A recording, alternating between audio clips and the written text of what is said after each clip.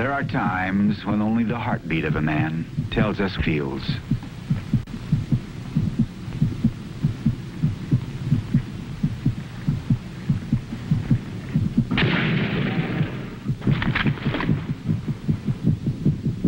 This is Rebel 6. Request dust off. Dust off. Over.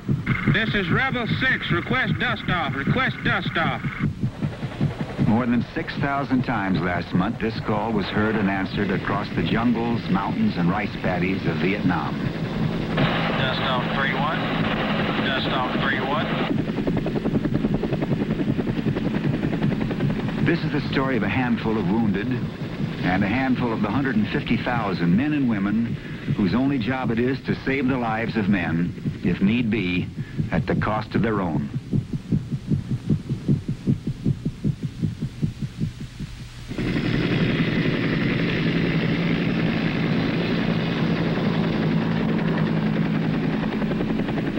Central Vietnam and a province believed vital for the security of Saigon.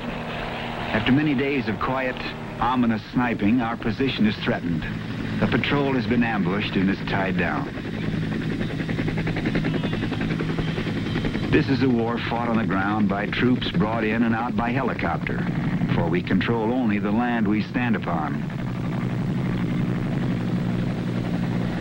The front, as it has been understood in other wars, is where you are facing at the moment.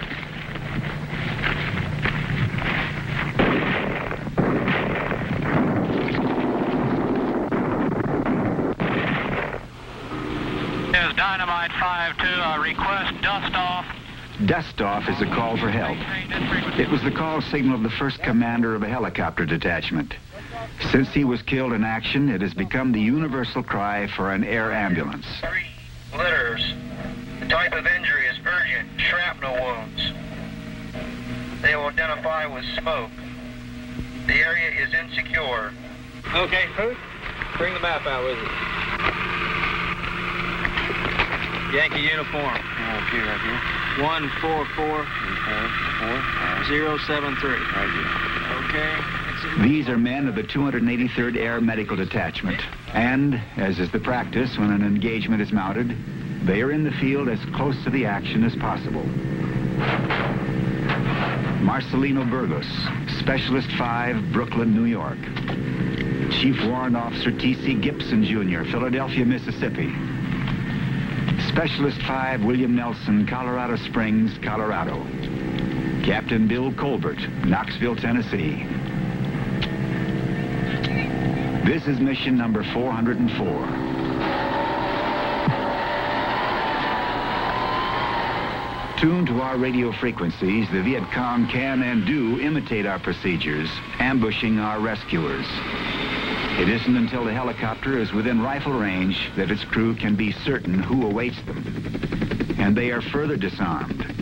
Since they exhibit the Red Cross, they may carry weapons only for the protection of their patients, not for themselves. I want to tell them back there, Burgos, we're going to have to switch because they have mass casualties up here. And uh, we got to get up there and get them. Okay, sir. Got four You beat me. left. Uh, I got to check Yep. this out. I think I may have a unit in there now. Uh, this is Mustang uh, 3-3. Get off the air for approximately 02. We have a, a dust off in progress. They're on this push. Out. Bobcat Bravo 5, dust off 3-1, over. Is Bravo 5. Uh, Roger, we can hear you now. Over. Roger, I'm above the clouds at this time. I have an APC with a panel marker on it at this time. Is If you could uh, confirm that it is one of yours will come down through a hole, over. Uh, this is Bravo 5. Uh, we prefer to use smoke. We've got uh, quite a few down here with markers on. Over. Uh, Roger, how much enemy contact did you have prior to our arriving, over? Uh, we've had sporadic contact uh, all morning. Over. Uh, Roger, uh, what's the best direction of approach into your area, over? This is Bravo 5. Uh, suggest you come in from the uh, southwest. Do not go uh, in the area to our northeast. Over. Uh, Roger, that's uh, about where we are at this time. Uh, go ahead and throw a smoke now, and I'll see if I can pick it out, over. This is Bravo 5.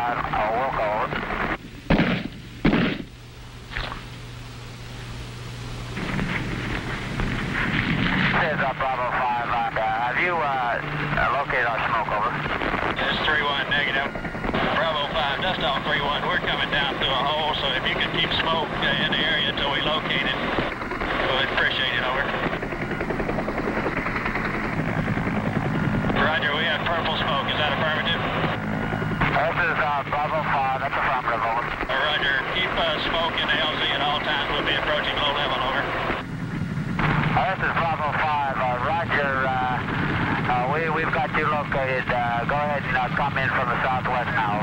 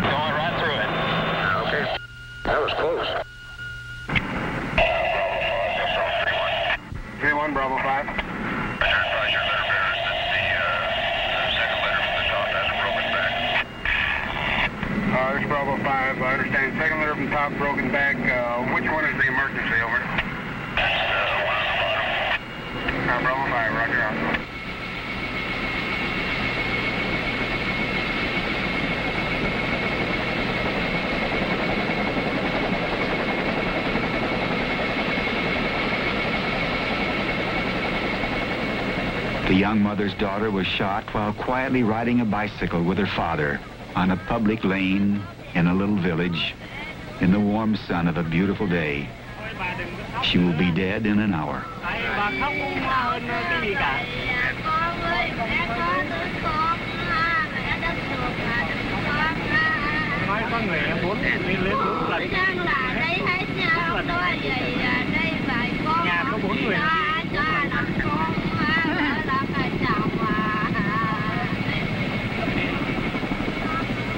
Four members of this family have died this afternoon between noontime and dinner.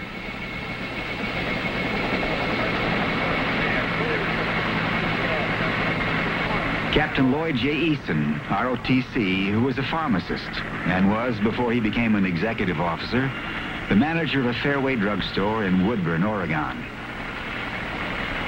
And the work here is different.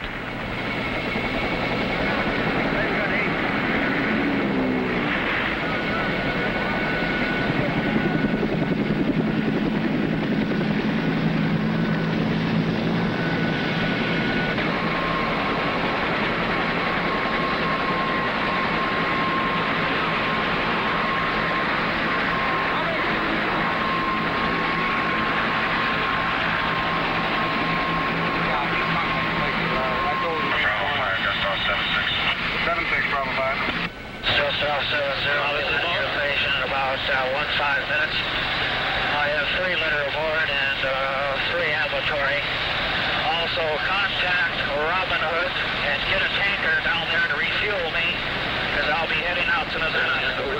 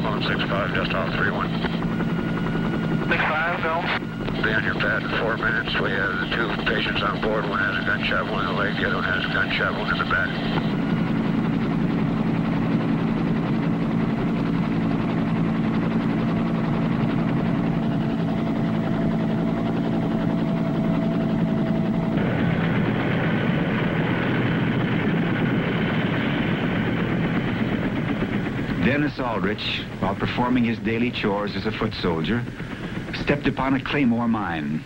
A metallic fragment entered his left flank. It shattered his spleen, destroyed part of his kidney, went into and is lodged in the left upper lobe of his left lung. Sixteen minutes later, he is here. Uh, blood over here. Hey, hook up that blood. Come on, let's go, Ron. Come on, people. Come on.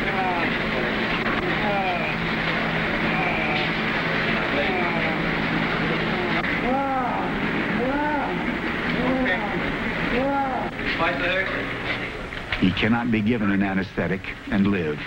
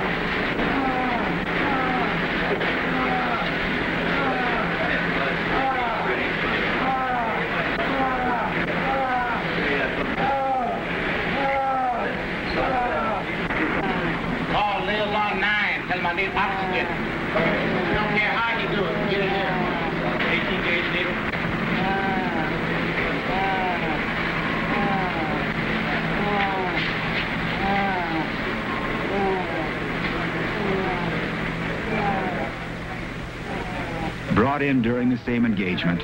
a Viet Cong shares the operating room.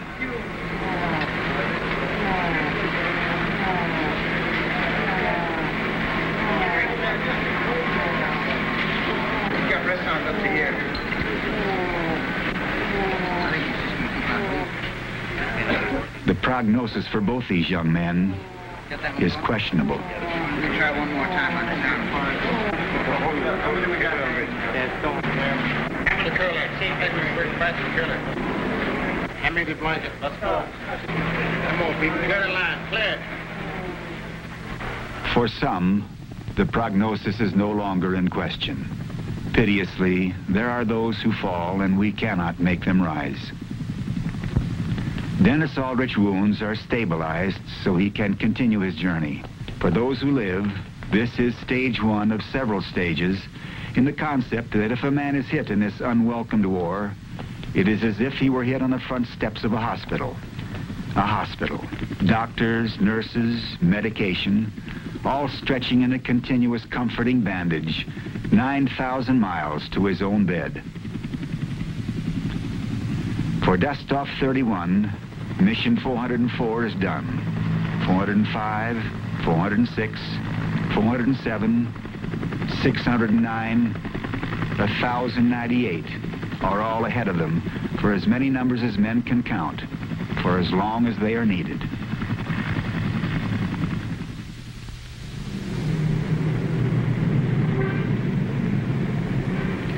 In Saigon, in a remodeled and guarded apartment building, are the headquarters of the Far Eastern Joint Medical Regulating Office.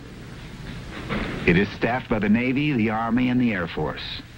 It is from here that the life of the casualty is guided to the hospital best equipped to handle his particular injury, to the doctor best prepared to heal him. In Saigon. I've got two add-on and a change in destination. Aldrich, that's A-L-D-R-I-C-H.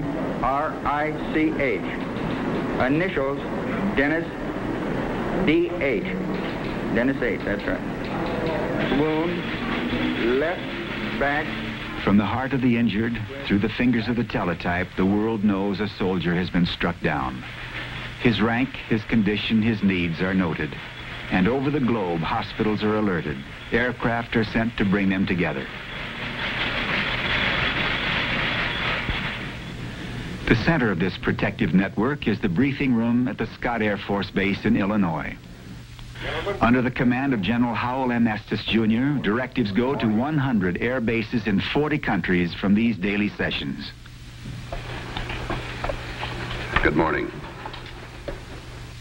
Good morning, sir. There are 33 C-141 missions moving, which include 19 channel traffic, 8 special missions, 4 aerovac, and 2 embassy flights. There is the aerovac on time en route to McGuire, a special mission en route to Bedford, Massachusetts.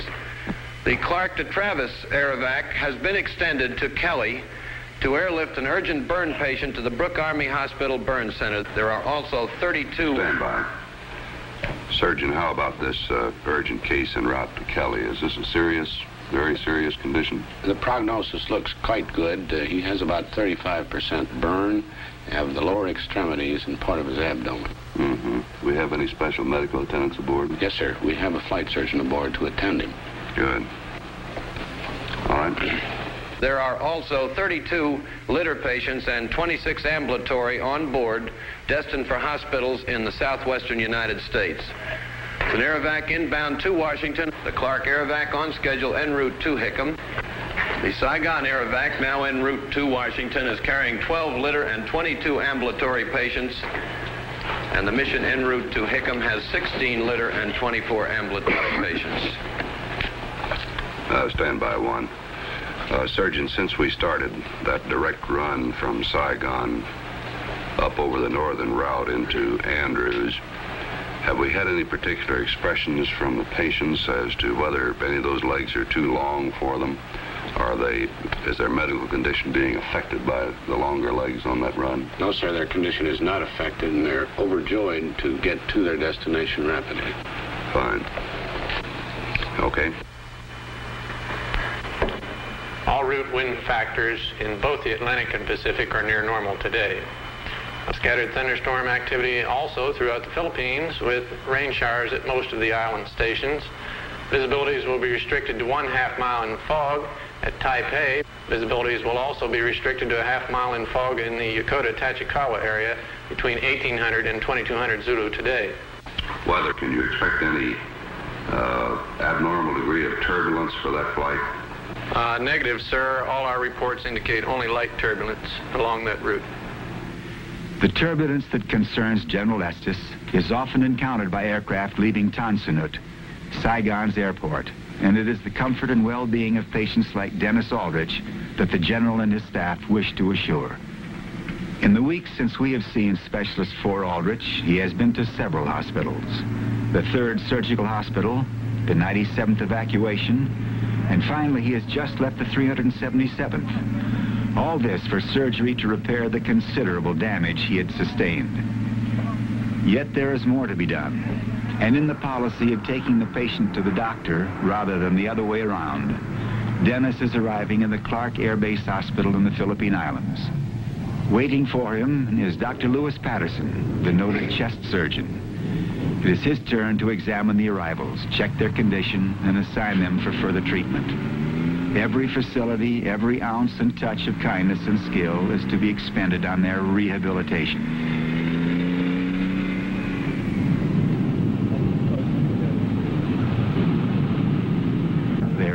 There is barely a moment when they are permitted to forget this. What's your name? Shivari. What's that? Shivari. Spell? Uh, how long ago were you shot? Last night. Hmm? Last night. Last night. Feeling pretty good? Take the trip all right? Okay. You'll be going to 112, all right?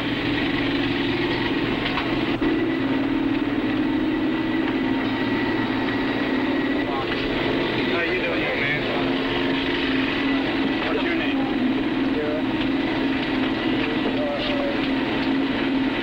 When did you get in? What? February. February? No, when did you get injured?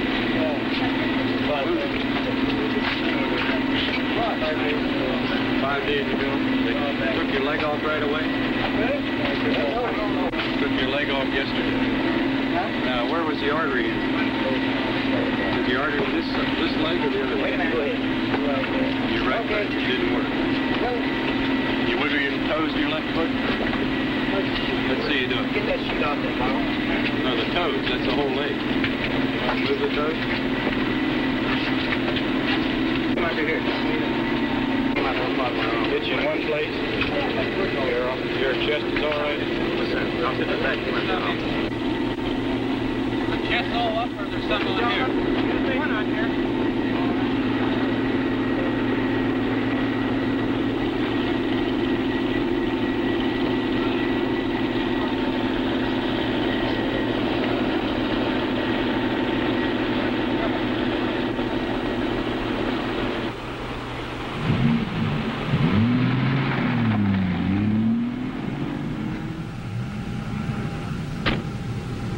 you can't help but feel some apprehension about are we going to be able to manage these boys? It's going to be a problem we haven't met with before. And even though we've had a plane a day now for a year or so, uh, you just can't help but feel that there's a new challenge. Well, Dennis Aldrich uh, received a metallic fragment wound of the left flank, and he's one of the boys that's very lucky to be alive. When he got here, uh, our x-rays showed this retained large metallic fragment in the left upper lobe.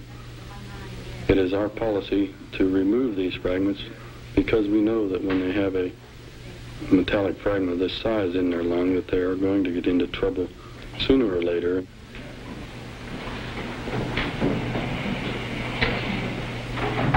The, the injuries in this war are different than previous wars from one aspect, and that is the, the velocity of the missiles. The, the M14 rifle, for example, is much faster than uh, the missiles of the previous wars. And this imparts an awful lot of energy as it passes through the body, killing tissues at quite some distance from the actual path of the missile. Yeah.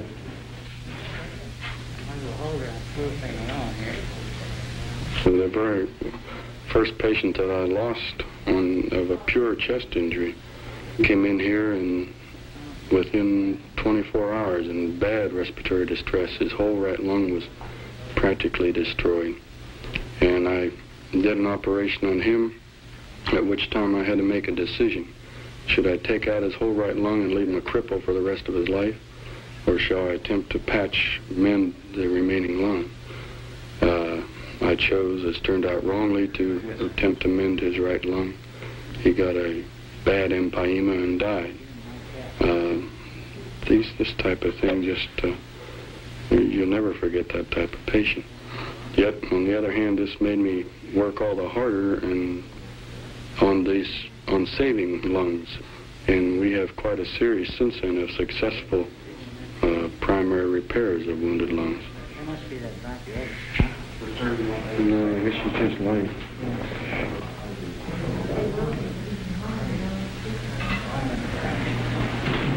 you just like. When you really stand back and have time to stop and and think, uh, it's just a, such a tremendous waste of, of human lives and human limbs, and so much suffering involved. Uh, my only hope is that it's worth it all. Looks like the ground is for both. Pretty good. For the sick, nights are one year long, and dawn a welcome friend. With a light morning breeze comes the hope that this day will be better than the last. It is three days since Dr. Patterson went exhausted from his operating room, having met the challenge, which in all our hospitals has resulted in returning 99% of our casualties to life. These first unaided steps are a quiet victory for all those who have held Dennis' future in their hands. Though the journey is not over for this battered boy, he is on his way. Air Force nurses Captain Dorothy Brooks and Marge Selger, specially trained to man an air hospital. It was a little later before they got home and to sleep. It's now not yet 6 a.m. Their days are not measured in hours, for they are a special variety of caretaker and are on constant call. Today's evacuation from Clark through Japan to the United States is to be theirs. 25 patients, including Dennis Aldrich, are to be prepared by the hospital nurses, the flight captains, and the doctors for stage three on the journey to recovery. Good Morning, Dennis. How are you this morning? Hi. Feel like going home yet? I'm ready anytime. How's that arm doing? That's pretty good. Can move it around a little bit. See you move that shoulder. Ready to go about 10 rounds? Well, I don't know about 10 rounds, maybe five. Maybe five, huh? But don't be too good. We're liable to send you back over there. Mm. Oh, I don't think I feel very good. You don't, th- you don't think you'd like that? No. Had enough of the VCs? Oh, for a little while, anyhow. Raymond Hagel, upon whom a bunker fell and who is now a paraplegic. Good morning. How are you? Fine, man. Fine. I'm Captain Brooks. I'm one of the flight nurses that's getting today's flight ready that you're going home on. Just came by to say hi, see if you have any questions or problems, and tell you a little bit about your trip. Do you have any questions offhand? No, ma'am. I'm ready to go. Okay, fine. How long have you been on this frame? A little over two weeks. Okay, so then you are used to being on it and being turned on it. Yes. Are you able to move your arms at all so that you can feed yourself? Yes. Okay. Do you usually eat on your back or do you prefer on your On stomach? back. On your back, okay. We will be transporting you on this frame and we will be turning you in flight on this. Is there any particular position that you're more comfortable in? I like to put on the back, to the stomach. Okay. Fine, then we can turn you, say leave you on your back for a couple of hours and then turn you onto your stomach for an hour just to get you off your back for a short while. Where's your home? Philadelphia. So is mine. I'm right outside of Philadelphia. You have to say hello to Philadelphia for me. Okay. All right? Uh, I'd like to know what sort of bandages you have. I see a wire sticking out there. Yes, the whole thing is wired together. Oh, can you move your fingers? This one doesn't want to move. You do quite well. Are you able to uh, use that hand for cutting things or opening things? No, I cannot. Or can you eat with your uh, left hand? Yes, I can eat with it. Kind of clumsy, but I can eat with it. We'll be glad to help you. No, I'd rather do it myself. We use a C-141A. I don't know if you're familiar with that. Oh, I believe it's the same kind of plane I flew to Vietnam. Yeah, you probably did. They are using it to fly troops and cargo. Uh, well, you know that it's just a big cargo airplane. Big right? box. Yeah. It, uh, it's certainly not plush at all. Anything to get me home, that's all. Where's your home, Dennis, in the States? It's Wisconsin, I think. Cold part of the country. Oh, just part of that. It's good weather. Four seasons. It's what? Four seasons. Four seasons. You like four seasons. Yes. You're anxious to get back. Oh, I'm in a real hurry to get back. There's someone back there waiting for you? No, just my family. Mother, father? Mother, father, five sisters, and two brothers. Five sisters. Right. no girlfriends. No, You didn't leave anyone behind. no. You have to pick fine with someone when you get home. Oh, a bunch of them, I hope.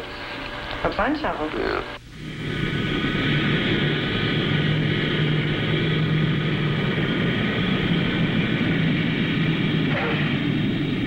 Boy said when he first saw this ship coming to take him home, it is as if God came out of the sky.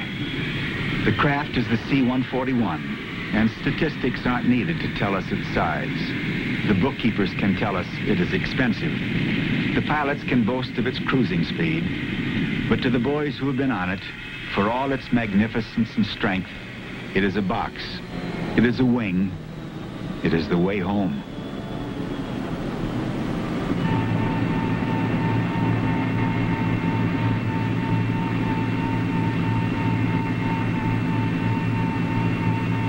It comes in as a tightly packed warehouse, a cargo vessel. In an hour and a half, it can be unrecognizable. Its function, its character, even the way it will be flown will be radically altered.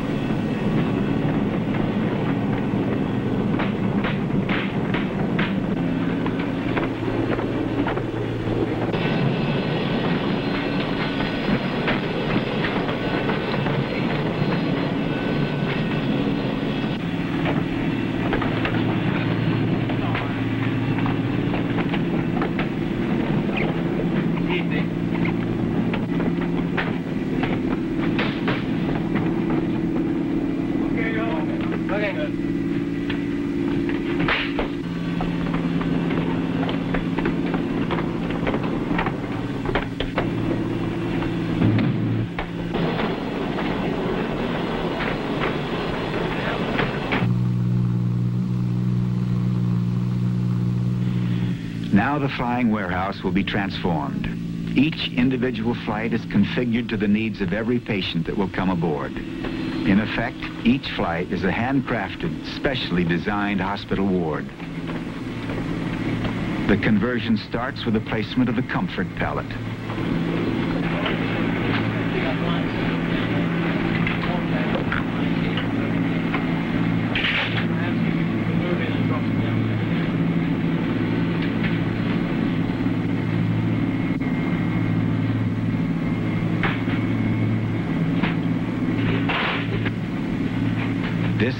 Poem to modern technology makes provision for all eventualities.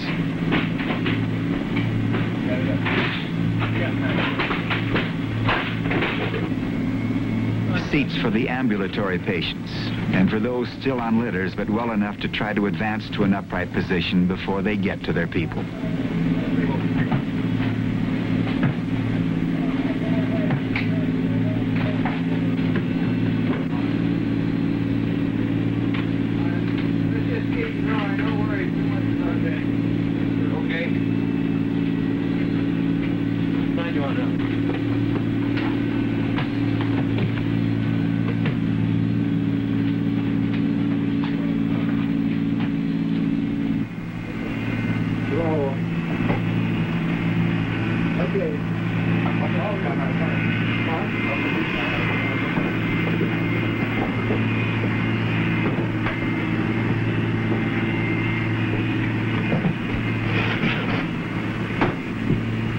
Oxygen inches from everyone. Individual medication is small reach away for instant administration.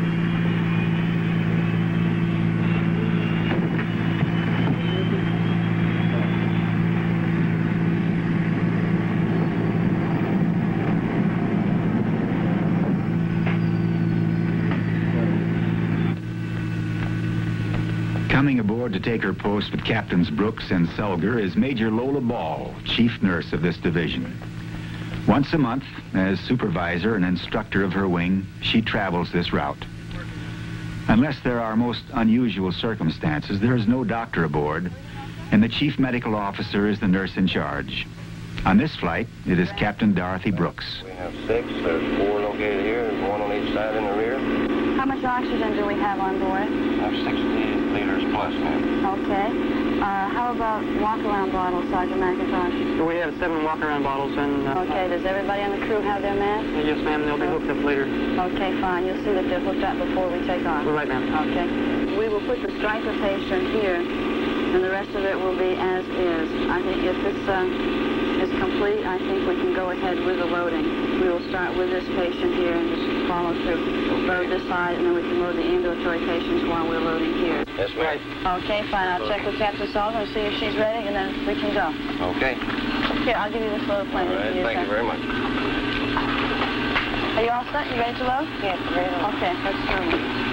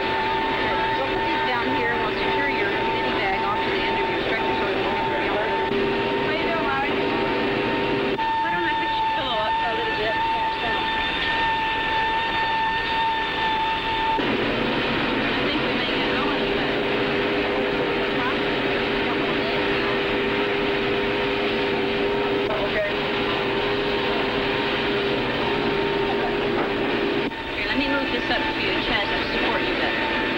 I'll take this tag and we'll get it, get it ready for your medication, okay? Not too tight. Okay, I'll hold you. All right? Where are you going?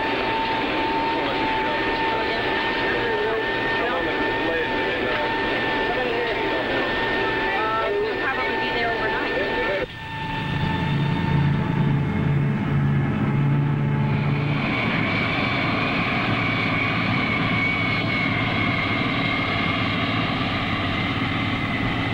Clark Tower, Aerovac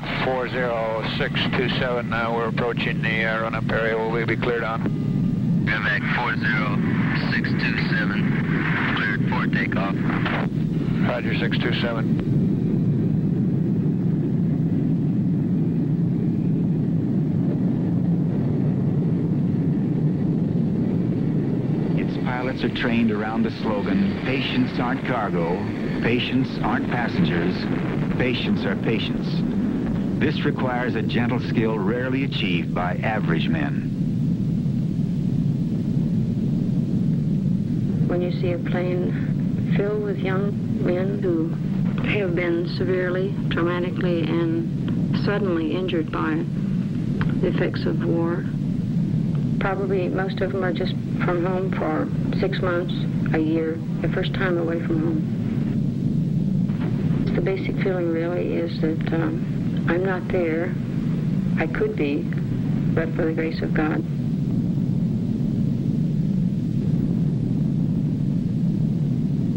Patients are the end result of a nurse's long, particularly a flight nurse's long striving to do something for someone who really needs her, who really needs to have her help and to do something that, uh, that she's been trained for all her life. And certainly in flight nursing, you use everything you've ever been trained to do. Very often you use all of this in one flight.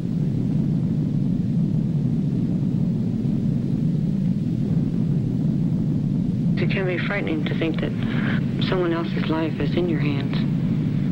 But through training, plus the fact that there's no one else around, and all that you can do is to hope that you make the right decisions. Our patients are take back to the United States are young boys. They were boys when they left Travis and went over. But you wouldn't dare call them a boy on the way back. I think they use us as mirrors to see how we react to them. They can see how they look in a mirror themselves, but we would be their mirror to them on a plane, how we would react to them. And if we would react violently, this is how they would get the conception, not how they themselves look to themselves. It bothers you that these fellows are young. I don't know whether it makes any sense or not as to why they're injured. I don't think about it. I don't understand it. You, you can't stop and, th- and think about this. The problem is to see what you can do with them from here on in. How do you help rehabilitate them? Most of them think about what they are going to do when they get home. A lot of them think about how long it will take them to recuperate and be returned to duty. Some patients reveal their anxieties by being extremely quiet. I think some of these fellows are afraid to voice some of their anxieties because they're, it would be maybe unmanly to do so. And you have a communication that you don't have to put into words, that just the patient and you just feel. The closeness that a flight nurse and a patient has, perhaps, is that they're they're sharing a common experience. They're both alone. They're both away from home. They are supporting each other in that uh, the patient is looking for the nurse to help them, and I think the nurse, in a, in a great sense, is looking to the patient to give her the, the sense of responsibility that she has. When I first went to Vietnam, I was uh, a little uh, trying to actually visualize what it was going to be like. I didn't really know. In a way, I was sort of glad to go over there. Then uh, I was a little scared too.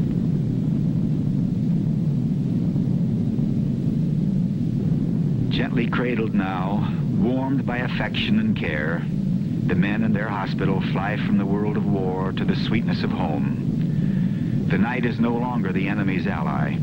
Sunset brings healing sleep, reflection, remembrance. Sometimes you dream you see somebody getting hit or something that happened before and you remember it in your dreams. So I've had several dreams where actually I just almost relived something that happened before. This was after I was hit.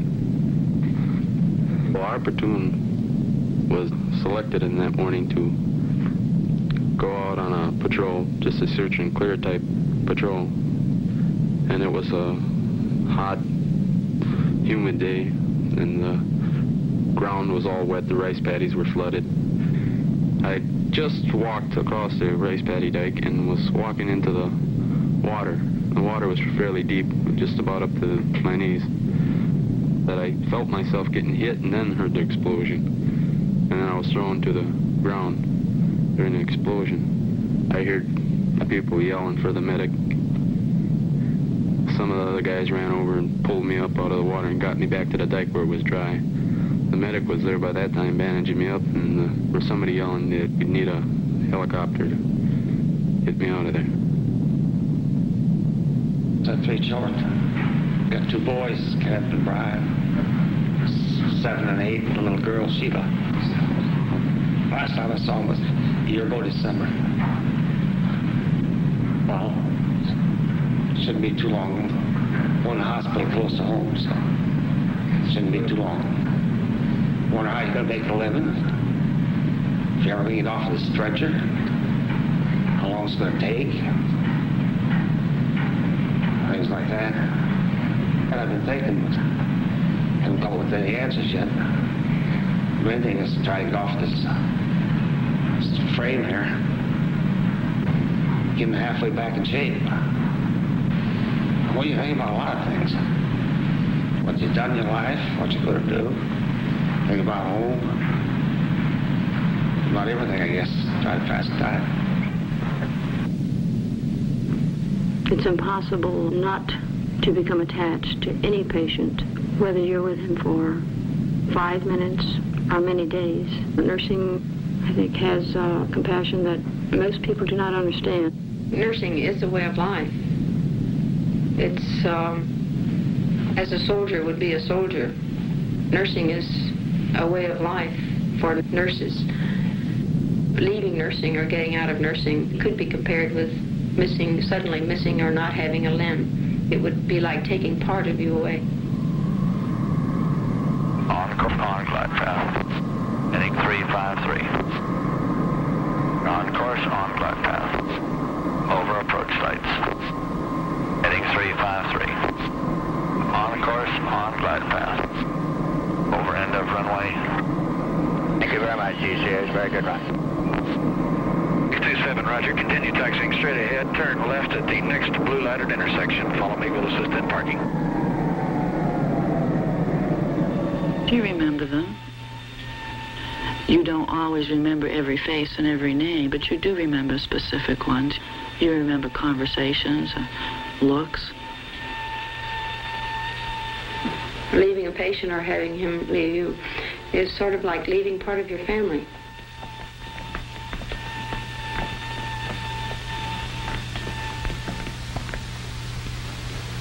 At 826 Forest Street, Stevens Point, Wisconsin, as in many corners of the land, a family nervously awaits the return of a young man. The boy need not be a hero. He need not be a prodigal son. He need only to have done his job. He need only return safely. For every surviving soldier is a hero.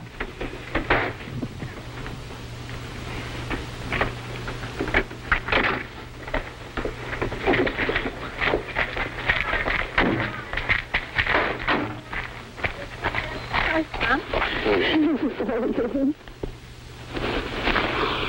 Hi, you big lug.